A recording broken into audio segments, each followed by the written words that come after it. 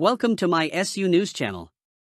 Lionel Messi calls MLS minor league while revealing potential World Cup status. Lionel Messi uttered the two words MLS likely would have appreciated if he hadn't.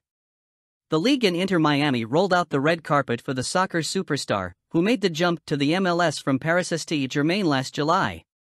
Messi, 36, signed a massive contract that will earn him between 50 to 60 million dollars annually through 2025, including him getting a cut of MLS season pass subscription on Apple Plus as well as his Adidas merchandise.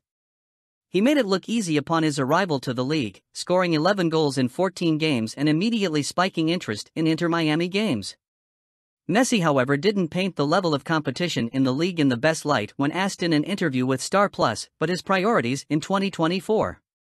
I said it several times and it is a reality. I will always try to compete to the maximum, and I am the first to know when I can be there and when I can't, Messi told the outlet. I am also aware that I went to a minor league, but a lot happens because of the way one faces it and competes. The club went on a 12 game unbeaten run and won its first ever trophy, the Leagues Cup, but injuries took their toll on Messi at times. The team's poor start kept it from reaching the MLS playoffs at September 7, 18. Messi, who won his record eighth Ballon d'Ors this season, does want to continue to compete on the world stage for as long as he feels he is able.